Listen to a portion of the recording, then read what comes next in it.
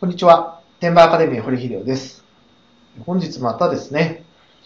円が124円台に突入と、7年11ヶ月ぶりの円安というニュースが、まあ、ヤフーニュースの方で流れてました。これ、円安はですね、えーもう今は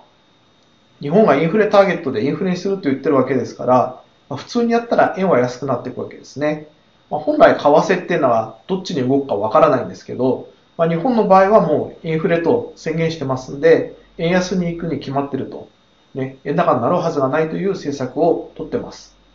まあ、短期的にね、えー円安、円高ありますけど、長期的に円安が止まらない以上ですね、まあ今、これから物販、転売するのに輸出をやらないなら馬鹿げてると。ましてね、えー輸入ですごい儲かってんならいいんですけど、えー輸入で6スポ儲からないのにね、えー輸出やっても、えーしょうがないんじゃないかと、二の足を踏んでるんであれば、えービビるところを間違えてますね。即刻輸入をやめて輸出に切り替えた方がいいです。これは市場の大きさ云々もそうですけど、為替一つ取ってみても、もう円安の流れは止まりませんし、えー今、円安で輸入で厳しいんであれば、いずれね、また円高に戻ったらなんとかなると。円高に戻りませんので、えー輸出に切り替えた方がいいです。で、これから転売やろうと思っている方ですね、えー今、大して儲かんなくても、円安が進めばもっと儲かるようになりますんで、えーすぐにやっぱり輸出で儲かる商品を見つける作業に入るべきです。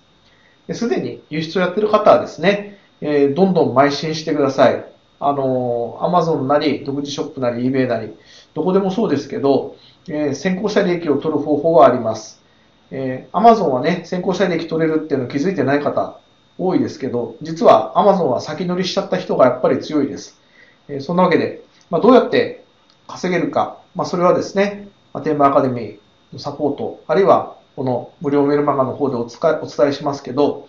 いずれにしても、今、ね、輸入やるか輸出をやるかとか、迷ってる場合じゃないですね。えー今から輸出をやる、やらないというのはどうかしてます。えー輸入をやっても全く稼げないです。えー今時ね、円高になると、ね、どうなるか分かんないとか言ってる人はちょっと、経済の勉強から始めた方がいいんじゃないのかなと思います。えー円安はどんどん進みますんで、円安で有利になる輸出ビジネス。その中でも特に稼ぎやすい Amazon 輸出を始めることをお勧めします。以上、天馬アカデミー、堀秀夫でした。